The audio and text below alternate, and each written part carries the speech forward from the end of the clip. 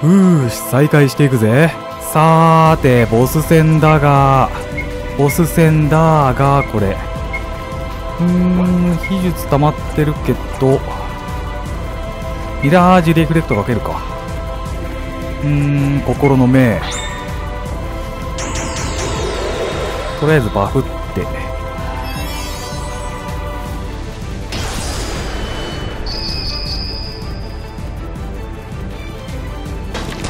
これで魔法攻撃がたまに反射だがとりあえずビッグバンフレーム第一ブレイクからのアタック増える指定のうーん千手観音。1400ダメージか。しもちゃんが地と火力不足か。第一ブレイクそこそこいいダメージ出せるな。キングオブハンマー。なんだ？全体攻撃か。いてー。いてーそれ。いてーがなんとかなる。ヒールガーデン。どっせーい。攻撃力が上がってるから。ああいいダメージいいダメージ。ミス出んのやめてほしいなこれ。ミスチルちゃん先制取れないとまずいんだが大丈夫か？危ない。間に合った。大型停電何それ？あ暗闇。暗闇鬱陶しいわねということで。暗闇ぐらいは直した方がいいが。オールガイオールガイオールガイ自分で自分に使って。うーんちょっと M 早めの MP 回復しとくか。早めの MP 回復。で攻める。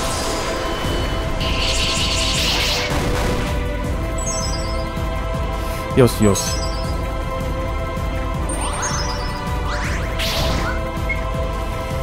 うんだばこっちで攻めようか。第一ブレイク。うん戦闘不能回復。ミラージュリフレクト。いや普通に単体攻撃で攻めるかこれ。攻撃あるのみ。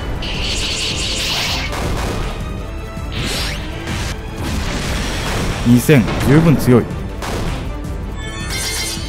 ミスチルちゃんの単体火力がちょい微妙か。シャイニングフラッシュで攻めた方がいいかもしらんな。わー燃費なくなった。竜巻切り第一ブレイク。よしよし。いい感じにダメージを与え続けられているが大型停電やめろ暗闇やめろ。わあ全員暗闇になった。全員暗闇になったこれ。オールがいい。オールがいい。ナースナース。ヒールレインで回復してオールガイで自分回復。暗闇向こうつけてつけてきた方が良かったやつやなこれ。オールガイももっといっぱい買っとかんとダメだなこれ。痛い。攻めいやちょっと待って。先にフォーメーション D かけてあなたは瞑想だけかけようか。うーん。ハイヒールで自分を回復しあなたは攻める。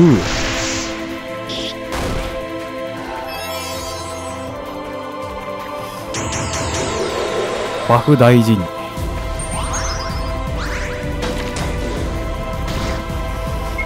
よし。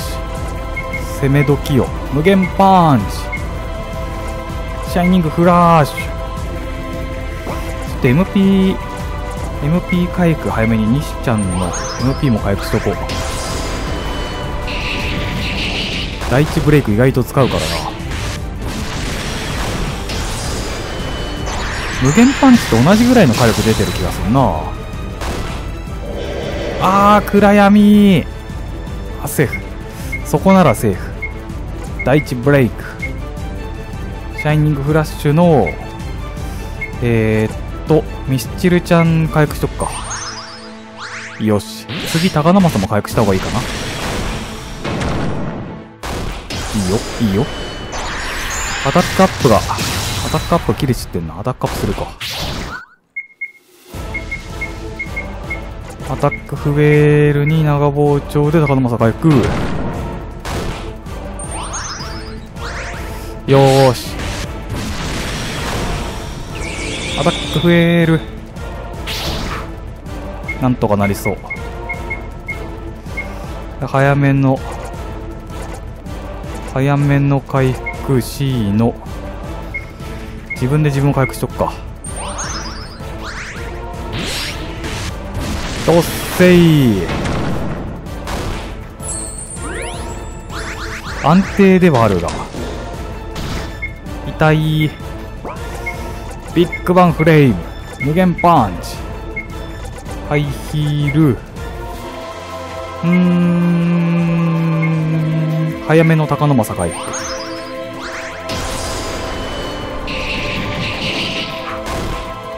おなんだって？おっと遊ぼうよ。こっから本気なのかおいこれ。バフ、敵にバフがかかったのかなるほど。あばー、普通に痛い。う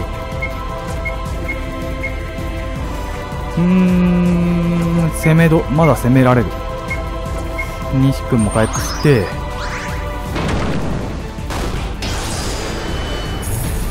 防御力上がってもそこまでか。よし、いい火力、いい火力出せてる。シャイニングフラッシュもそこそこいいダメージ出せてんだよな。痛いフォーメーション D だけかけて、瞑想も一応して、ヒールガーデンして、MP 回復して、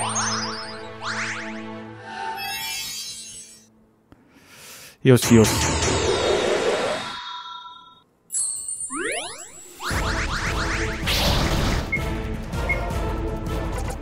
真空爆裂剣第一ブレイクャイニングフラッシュ。攻めるか。どっせ。ーいよーし倒した。ふう。やったぜ。3万の経験値。うまし。いガー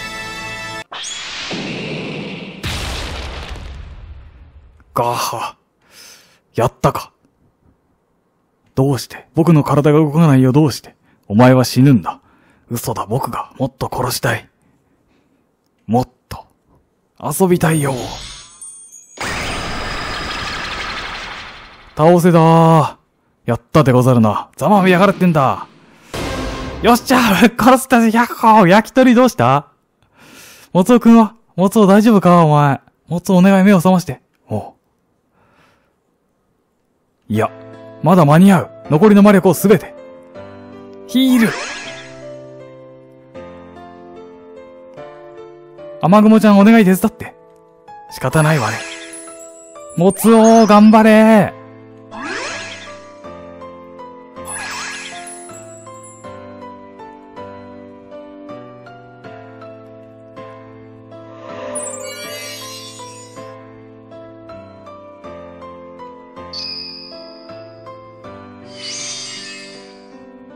もつおは、もつおは家族だよ。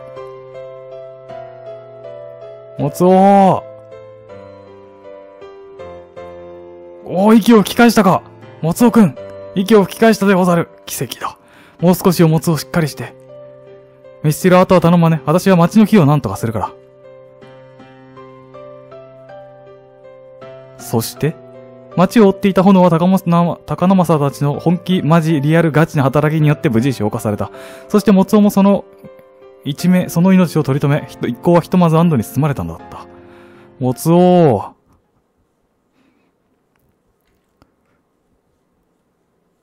パチ。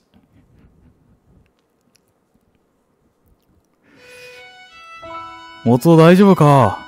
カナリア様、僕は。よかった。本当に良かった。ようよう持つお、無事意識が戻ったのね。お前ら、あのデンジャラス星人は？科学的に。ありがとうございますとサビケビ散らせ。そうだったのか、科学的に。ほんと感謝してよね、大変だったんだから。大体あた、あたしがこんなミス知らずのクソ貧キャメガネのために。しかし、モツオはすごいでござるな。あの瀕死状態からたった一日で目を覚ますとは。当たり前だ、科学的に。俺は不死身のジャスティスマンモツオだからな、科学的に。不死身のジャスティスマンかっこいい。だから感謝しろっての。何を言ってるぬいぐるみ、科学的に。俺はあの後見事に死んだふり、不死鳥アタックで。ああ、そう。助けてやったのに感謝の言葉もないのね。フライングメッツやばいし。雨雲このバカ、抑えるから外すなよ。メガネガード。いや、レンズ割れるか。ん？死ぬ科学的に？手をどけなさい、この。いかんでござる。また気づく自覚パーセルでござるよ。ジャスティスマン負けないで。もつおが、こんなに楽しそう。あの、なんだカチューシャ。本当にありがとうございました。俺たちはお前を助けに来たわけじゃない。お前が礼を言う相手は別だ。もつお。脳科学的に危なちょ。お前らいい加減にしろよ。あのー、フライング目つぶしここでジャスティスマンが奇跡の回避率を発揮するす、もつおってばその、ポーを助けに行ってくれてありがとう。あと私を守ってくれて、本当にありがとう。それと、その、今まで本当にごめんなさい。カナリア様、顔を上げてください。けどあなた、私はあなたを屋敷から追い出して、僕は短い間だったかもしれませんが、夢を見れてもう十分幸せ者だったんです。身分も低く粗相、素性もわからない僕がいつまでもそばにいては、カナリア様の負担が増える一方、これでよかったんです。私が小さい頃亡くなったお父様から教わったの。身分や質、血筋、そんな、大事なのはそんなことじゃないって。もつを私ね。私はあなたのことを誰よりもよく知っているわ。真面目で不器用で、本に書いてあることと私の言うことしか信じないんだもん。私のヒーロー。私がそう言ったあの日から、あなたが正義の味方になろうと必死でずっと努力してきたことも、どれだけ差別やいじめを受けてもこの街を離れないでずっと私のことをかけて見守ってくれたことも、全部、全部知ってた。あなたにはたくさん迷惑をかけてきた。こんな私だけど。これからも、私の家族でいてくれますか？僕はこれからもずっと、カナリア様のヒーローです。そして家族の一員であります。二人ともよかったね。うん。この感じ、モツオは仲間になってくれない感じかな。そして。お？なんか、もつよのやつ、ハッピーだってそうだったな。あのメガネいつか勝ち割ってやるんだから。七丁目のやつら金持ちなんだよな。これまた俺に大金いただけちゃうとかねえかな大金ダメ。かまちゃんまた気を失ってしまうよ。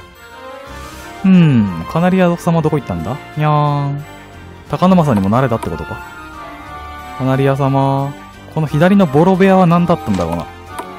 ここは一体何だったんだろうか。もっとモツオの部屋とかなのかなわからんが。メイドさん。松尾くんのお友達の方。はい。懐いてくれたんか。どこに行ったんだ？お、いた。本当に行っちゃうの？はい。デンジャラ星人をこのまま好きにさせておくわけにはいきませんから。なんだお前一人で立ち向かうつもりか？お前は科学的に一人で立ち向かうつもりかと聞いているんだ。科学的に。ヒーローってのはどうやら大切な仲間ってのを知っておかなくちゃいけないみたいだ。俺が仲間の大切さを教えてやる。俺が人から物を教わることになるとはな科学的に。ついてこいを持つを。ヒーローである俺の目的は地球を救うことだ。この目的がたまたま一緒なら仕方ないな、科学的に。ついてきたまえ、科学的に。ジャスティスマンと一緒に旅ができるのかい？最高じゃないか。何がついてきたまえ、科学的にだよ。どうやって科学的についていくんだよ、バカか本気でこのクソメガネガリベン野郎に連れて行くの？寄り道はしないからな。これで 7P でござるか。そうだ、大所帯になったな。気をつけてね。カナリア様のそばを離れるのは少し不安ではありますが、今僕のすべきことはこの地球を脅かす者を倒すこと。無事に帰ってきてね。もちろんです。あなたの帰る場所はこの町でこの屋敷なんだから、待っていてください。それと今度こそ勇者の剣を見つけたいと思っています。だから勇者の剣は私のでたらめ。いえ、勇者の剣はこの世界のどこかに本当にあるような気がするんです。そんな気がするんです。あなたが言うならそうなのかもしれないわね。きっと、どこかに。科学ハゲ野郎準備はいいか？次は死にかけても助けないからな。愚問を科学的に。7丁目出陳、知力と武力のケミストリー、正義を貫くジャスティスマン、持つをいざ科学的に。もつおが仲間になったこれはパーティーに入れざるを得んだろうよ、もつお。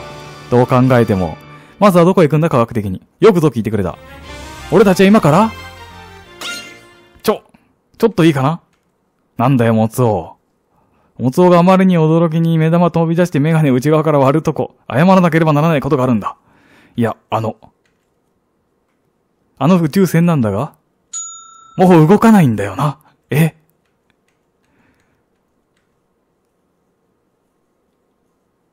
どういうことなの？着陸に失敗したの？もう、動かないんだよな。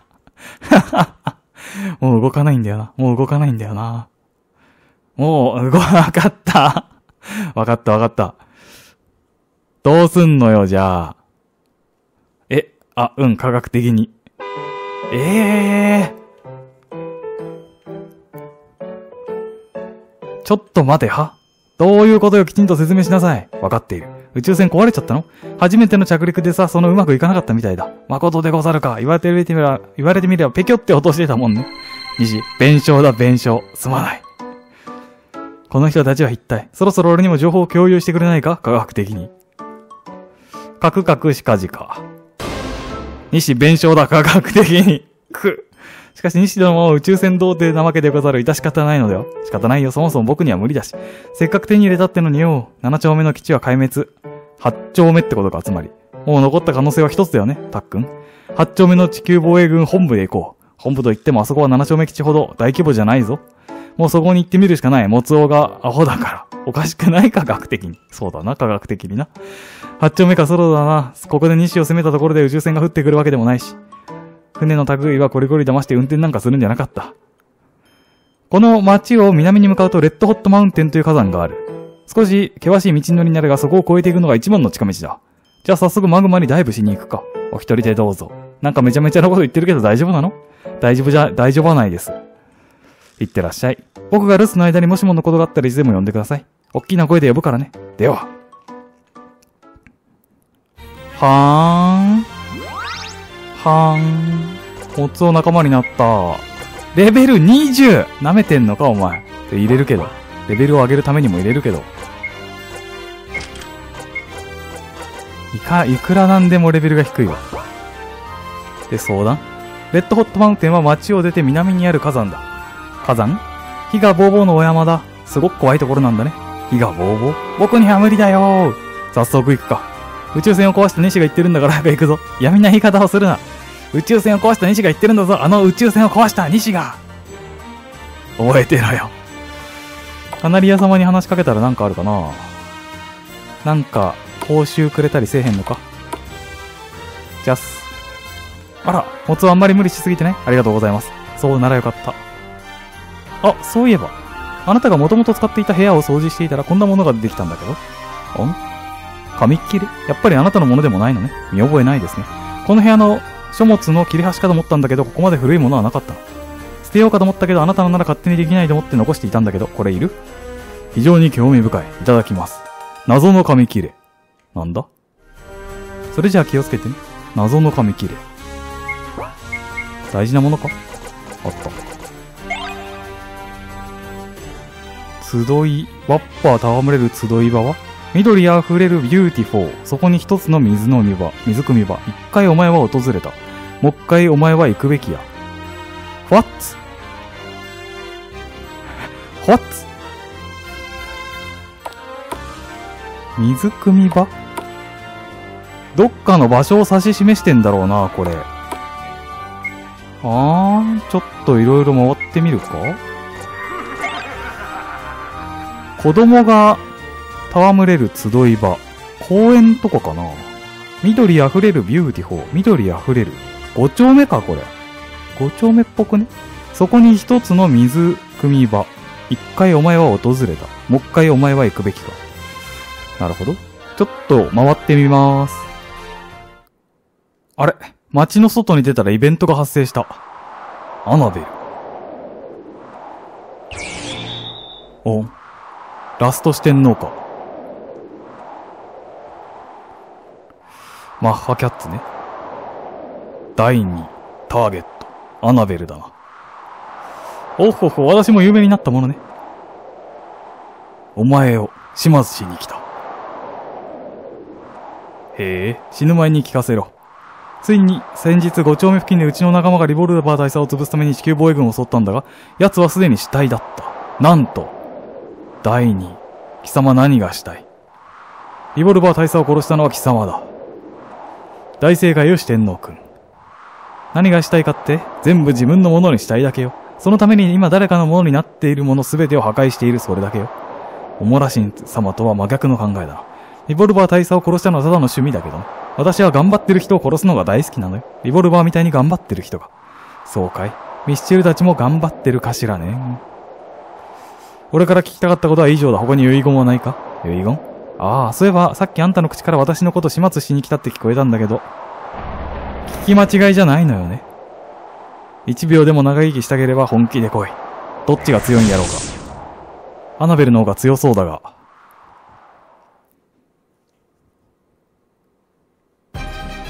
お、第8章、雪の競争曲。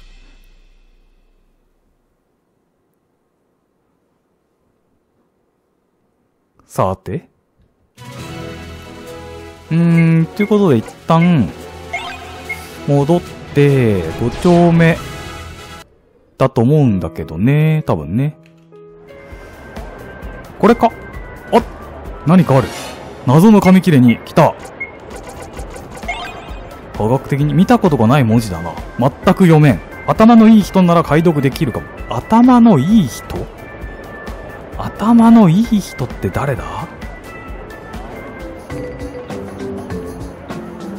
こいつか？先生科学的に。さあ、うん、そこの青そうなメガネ。この紙切りを見てくれ、科学的に。これは、読めるのか？俺に読めない文字はない。おお価格的にこれははるか昔5万8億9円2万年前に遡るこの頃人類はそう鼻くそ革命の真っ只中で人はみんなこの時代をクソいいから読め早く読めはいピンクのベッドはエッチ。ふざけるな科学的に。いやマジだって。いやだからピンクのベッドはエッチ。先に温めて待っている。って書いてあるの。ピンクのベッド？おそらくヒント的な意味だと思うんだが超重要人物が超重要な人物がそばにいる。って書いてある。超重要な人物がそばにいる。なあ。なんだこれ？わかんねえ科学的に。とりあえず今の文章を書き換えてやろう。俺ありがとう。ん？解読ピンクのベッドはエッチ先に温めて待っているちなみにそこには超重要あ超重要な人物がいたラブホテルあったなあったどこだったっけ？動画見返してくるか。ここか？ここじゃないか？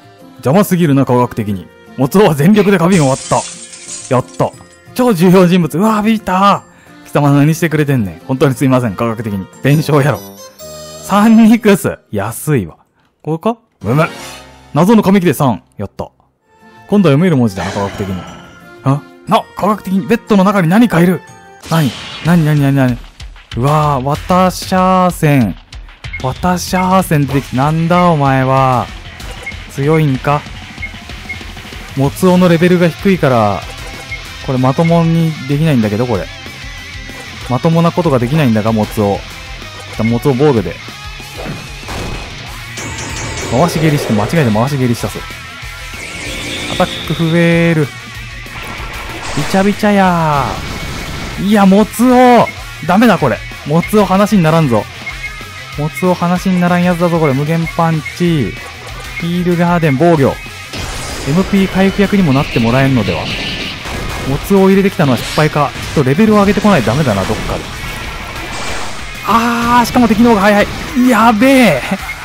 普通にやべえ、これ。嘘やん。ちょっと待って。逃げる。一旦逃げね。いや、ま、ちょっと待って。セーブしたから。セーブしたからちょっと待って。セーブしたから、一旦パーティーメンバー変えよう。一旦パーティーメンバー変えようか、これ。変えた方がいいな。できる限り魔法を反射します。あ、魔法反射とかしてくる。なるほど。こいつがやってくる行動、まあ、ある程度、見つつだが。はい、あっちっち。なるほどね。オーケーオーケー、やり直すぜ。さーて。再戦でございますが、ちょっと待って待って。フォーメーション D、メイソー、アタックフェール、心の目がいきなり使えない、攻めあるのみ。防御力上げても微妙か。魔法反射をした方がいい気はするが、しもちゃんのヒットポイントも微妙に低いんだよな。うわ、沈黙とかしてくる。攻め攻め、無限パンチ、秘術、ミラージュリフレクト。突星。どんぐらい強いのかだな、これ。ミラージュレフレクトこのビチャビチャが魔法だといいんだが。いや、普通に食らうやつ。この後もう一発来ると積むんだが。ヒールガーデン間に合ってくれるか？やばい。危ねえ。敵の方が素早いのかこれ。早めの回復大事だが。2連打されると積むやつだな。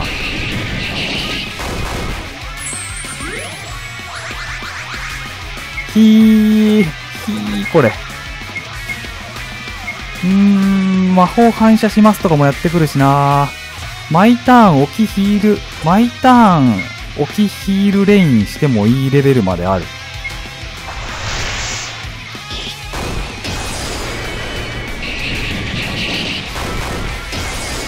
毎ターン置きヒールレインしたらなんとかなるやつでは？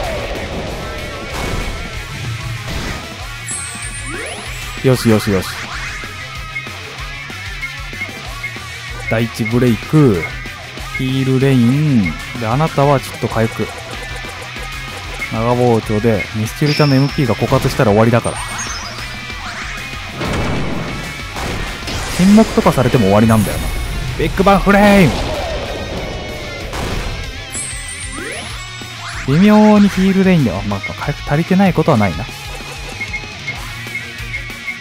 置きヒールレイン、全面。どっせードッセイドッセイナイスカウント敵のアタックとディフが下がったな。魔法反射できたおかげか、それは。今が攻め時よ。ミスんのかい、それ。このビチャビチャがやばいが、置きヒールレインのおかげでなんとかなる。ふぅ。フォーメーション D もかけて、メイソーをして、ミラージュリフレクトかけて、一応心のメモしとくか。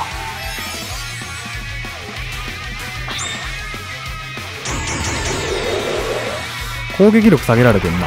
うわー、ビチャビチャ2連打きたー、これ。この次も連打が来ると非常にまずいが。攻めまーす。攻めます。ヒールガーデン。いや、超待って。あなたはアタックウェールして、しもちゃんで、えー、っと、味方の HP を回復する。よし。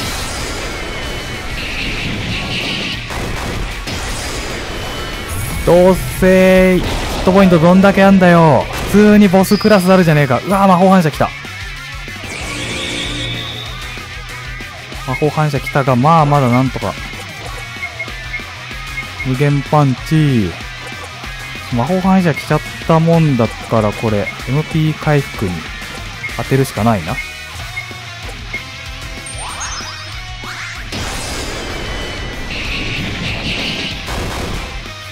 どんだけヒットポイントあんだよ、しかし、これ。ぼちぼち倒せてもいいと思うんだが。わあ、びちゃびちゃやばいやつ。ナイス反射。無限パンチ。ヒールガーデン。西も回復して。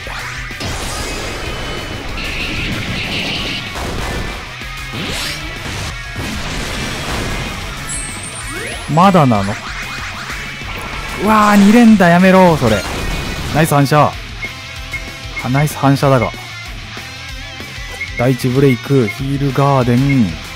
なんか、ミスチルちゃんも回復して。よしよしよしよし。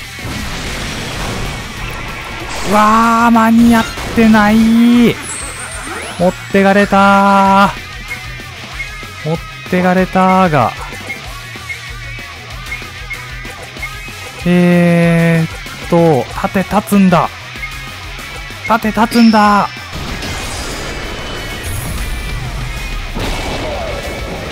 ぼちぼち倒せても良さそうなんだかな、これ。よし、倒せたふぅ。恐ろしかはあはあ。おい貴様、店潰す気かなんだそいつは本当にすいません、科学的に。さっきの化け物はなんだ？この紙切れの謎を追うのは危険か？科学的に。だが、科学的に。科学的に。俺ら巻き込まれてるよな。でも、もつおくん気になって仕方ない様子よ。うざいわね。やっぱり非常に興味深い。とりあえず一泊しようか。次の目的地はどこじゃ？えー、っと、大事なもの。夏の紙切れさ。無限の彼方へ、さあ行くぞ飛ぼうとする君を鳥たちが応援してるよ。ただ僕は日差しが苦手だから屋根の下にいるよ。待ってるね。あー飛行場かな？ちょっと探します。おふふ、よく来たね。科学的に。今、君は今その資格があるか試されてるんだ。科学的に？君はいくつかの試練を乗り越えた。今度は僕の試練だよ。次は何？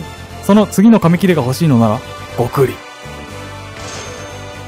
1001万、20万ニクス？金？科学的に。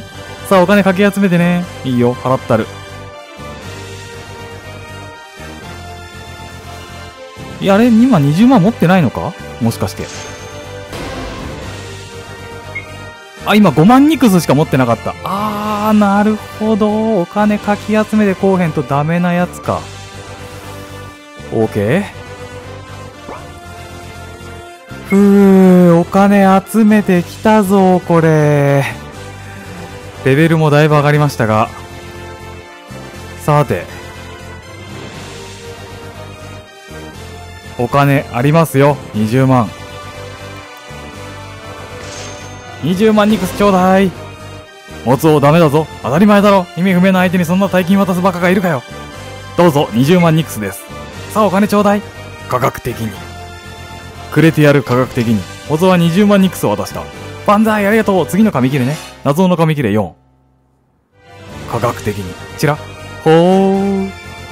どうやらしいみたいらしいな。わかってるわよね。いや、そのですね、科学的に。終わった。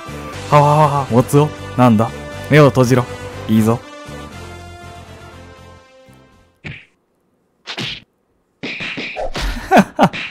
まあ、そら20万って大金だからな。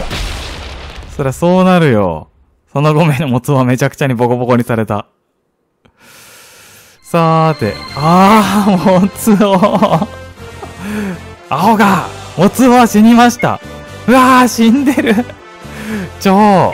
次のは何これ。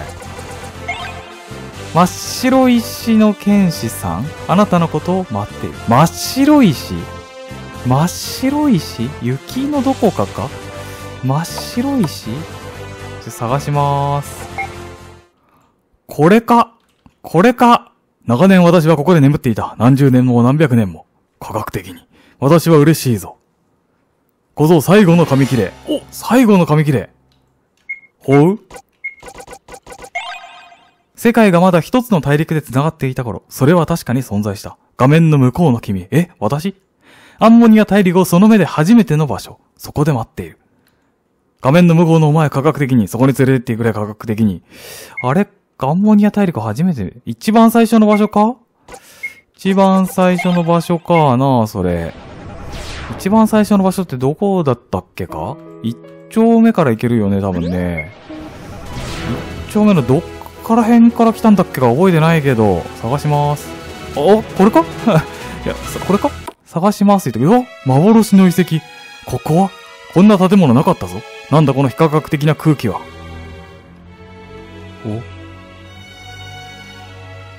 お？なんだ？ずっと、ずっと待っていた。誰だその非科学的な声を発しているのは科学的に。世界がまだ一つの大陸で繋がっていた時代。確かに勇者の、え、勇者の剣。長く続いた争い、の時代が終わると同時にその剣は幻の中に封印された。そしてまた争いの時は訪れた。その度剣は目を覚まし、勇者が現れる日を待ち続ける。さあ新たなる勇者よ。この剣を強く握り、再び訪れた争いの時代に正義の一対を。勇者の剣を手に入れたへえ勇者の剣マジであったのかよすごいなんだか苦労したけどあってよかったじゃねえか。争いの時代が生まれるために目を覚ます勇者の剣。この剣を握った歴代の勇者たちをここに誓う。科学的に。必ずその、この世界を救ってみせる。モツオの装備か？他の人はちなみに装備できたりせえへん？できない感じね。990! お？ん？お？ぶっえ、急にぶっ壊れとんだが？急にぶっ壊れとんのだがこれ。そこんとこどうだ？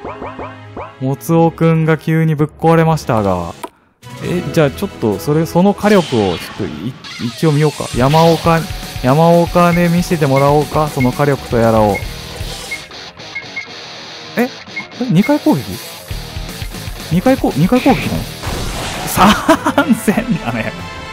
強いもつおが覚醒しよったつうところで今回はこの辺にしておきましょうか。はい。また次回、次のパートでお会いしましょう。またね